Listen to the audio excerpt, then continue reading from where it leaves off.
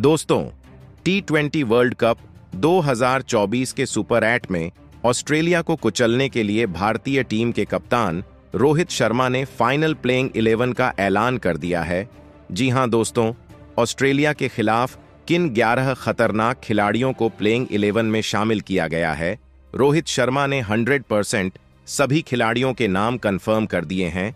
नमस्कार दोस्तों, स्वागत है आप सभी का एक बार फिर से हमारे यूट्यूब चैनल पर। दोस्तों, आज की इस वीडियो में हम आपको बताने वाले हैं कि ऑस्ट्रेलिया के खिलाफ कप्तान रोहित शर्मा ने भारतीय टीम की प्लेइंग 11 में बड़ा बदलाव करते हुए किन किन 11 धुरंधर खिलाड़ियों को प्लेइंग 11 का हिस्सा बनाया है।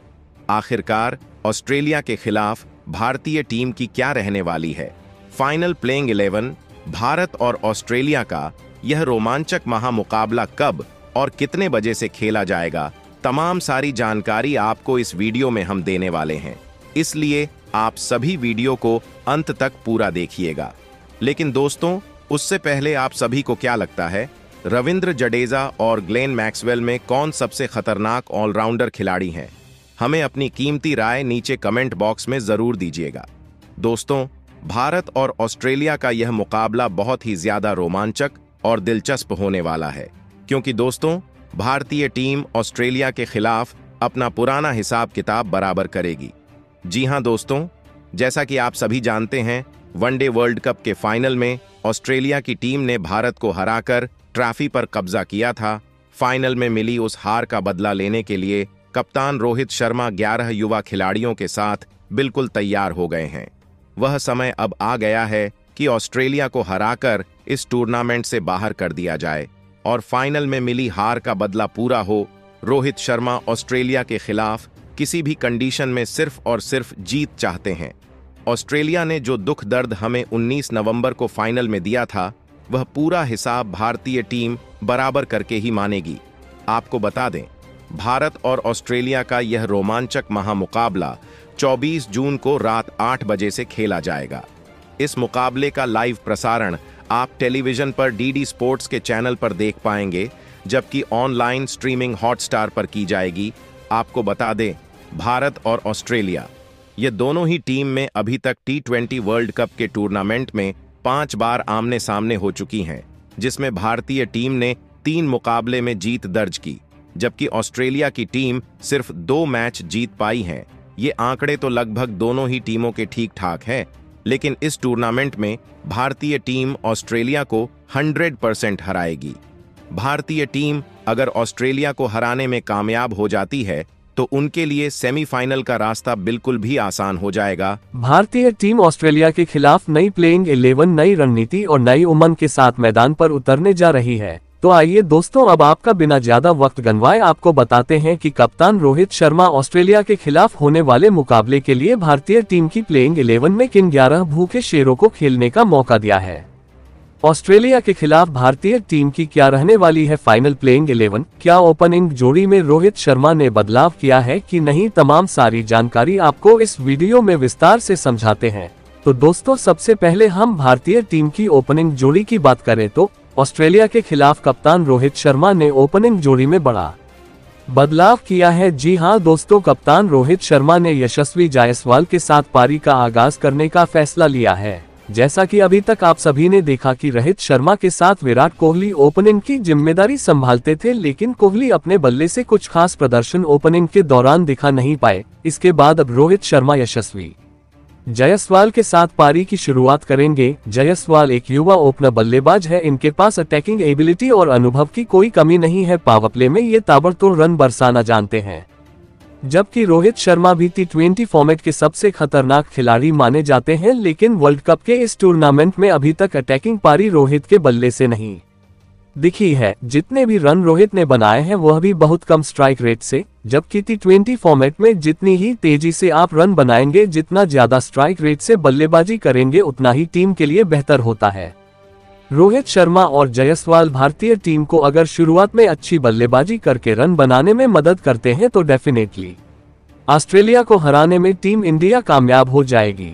जबकि इसके बाद दोस्तों नंबर तीन पर कप्तान रोहित शर्मा ने विराट कोहली को बल्लेबाजी के लिए प्लेइंग इलेवन में शामिल किया है।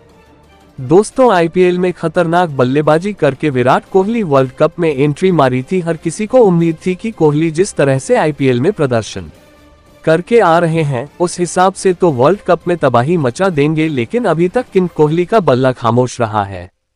उनके बल्ले से रन नहीं निकल रहे हैं। ऑस्ट्रेलिया के खिलाफ विराट कोहली को रन बनाने होंगे। तभी भारतीय टीम मुकाबले में जीत दर्ज कर पाएगी। दोस्तों, विराट कोहली एक मैच विनर खिलाड़ी है, उनकी फार्म कभी भी वापस आ सकती है।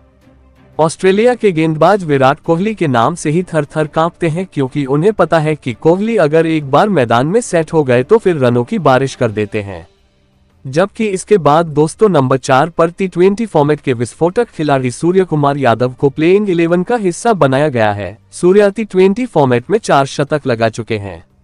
उनकी कैपेबिलिटी बहुत ही स्ट्रांग है। मिडिल ऑर्डर में आकर ये किसी भी टीम को बर्बाद करने में माहिर है। सूर्या अगर एक बार सेट होते हैं तो मैदान के चारों तरफ़ सिर्फ़ छक्के चौकों में ही डील करते हैं। जबकि इसके बाद दोस्तों नंबर पाँच पर विकेट कीपर बल्लेबाज के तौर पर ऋषभ पंत को प्लेइंग इलेवन में शामिल किया गया है। पंत अभी तक इस टूर्नामेंट में काफ़ी बढ़िया बल्लेबाजी कर रहे हैं। पाकिस्तान के खिलाफ उनके बल्ले से एक बेहतरीन पारी देखने की मिली थी। ऋषभ पंत फिनिशर के तौर पर अच्छी भूमिका अदा करते हैं।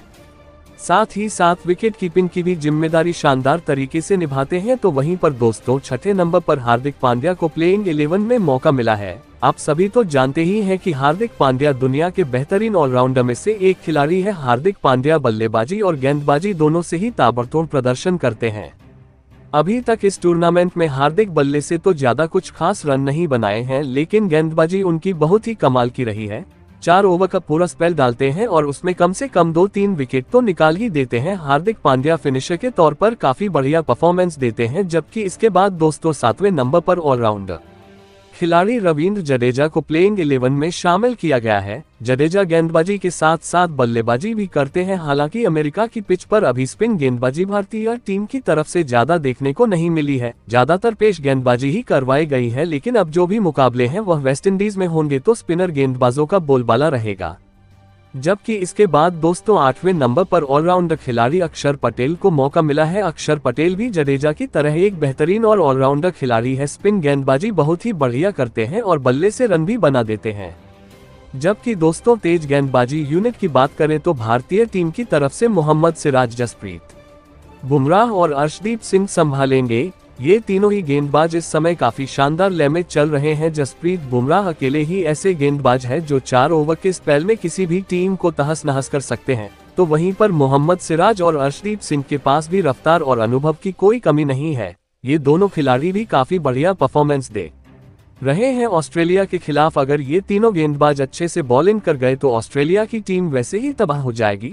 तो दोस्तों, ये रही भारतीय टीम की खतरनाक मज़बूत प्लेइंग इलेवन जो ऑस्ट्रेलिया के खिलाफ मुकाबले में मैदान पर उतरने जा रही है। दोस्तों, आप सभी को क्या लगता है इस प्लेइंग इलेवन में कप्तान रोहित शर्मा को और किन किन खिलाड़ियों को मौका देना चाहिए था? अपने कीमती राय हमें नीचे कमेंट बॉक्स में ज़रूर बताएगा